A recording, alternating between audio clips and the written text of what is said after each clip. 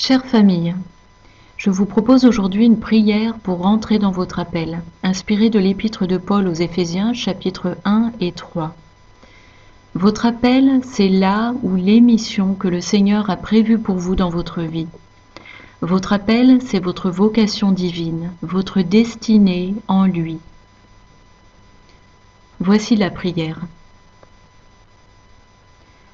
Abba, Papa, toi qui es le Père de notre Seigneur Yahushua, le Père de gloire, s'il te plaît, donne-moi un esprit de sagesse et de révélation dans ce qui a trait à ta connaissance.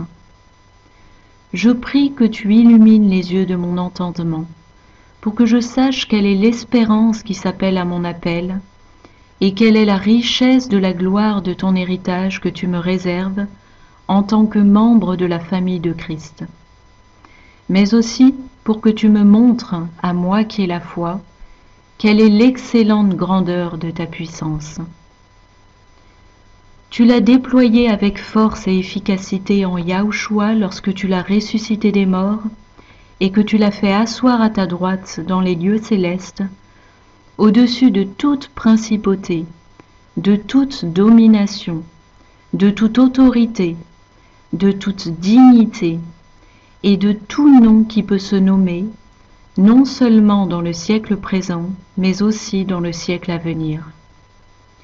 Les richesses de ta gloire, Père céleste, me permettent d'être puissamment fortifié par ton esprit en mon homme intérieur, de sorte que Christ habite en mon cœur par la foi, et ce afin qu'étant enraciné et fondé dans l'amour, je puisse comprendre avec tous les saints quelle est la largeur, la longueur, la profondeur et la hauteur de l'amour de Dieu qui surpasse toute connaissance? Alors je serai rempli de toute ta plénitude, Seigneur.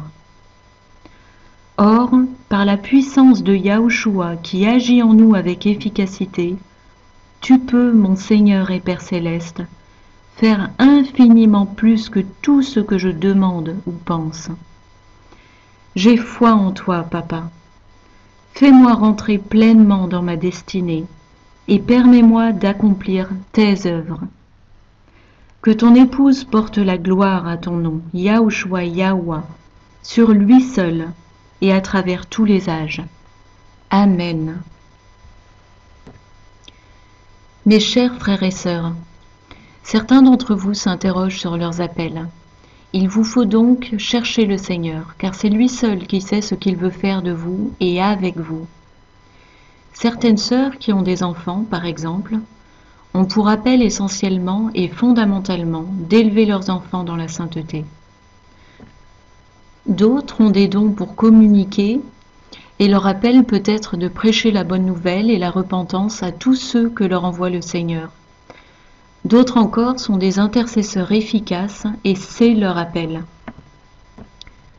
Certains appels sont très spécifiques, comme les appels de prophètes par exemple, et d'autres le sont beaucoup moins.